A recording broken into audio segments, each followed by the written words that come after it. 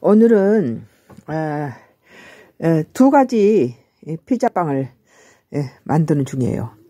하나는 어, 피자 아, 그 토마토하고 어, 그 마늘 넣고 또 양 양파랑 같이 볶아가지고 음, 이렇게 음, 피자 소스를 만든 다음에 그걸 발라줘서 여기다 이렇게 치즈를 듬뿍 얹어서 굽는 방법이고 여기도 마찬가지 똑같이 버터에다가 바른 빵 위에다가 어, 이것은 샐러드를 만들어 놓은 샐러드를 듬뿍 얹고 그에다 피자를 갖다 얹은 거예요. 아직 피자 치즈를 얹지 않는 빵이에요.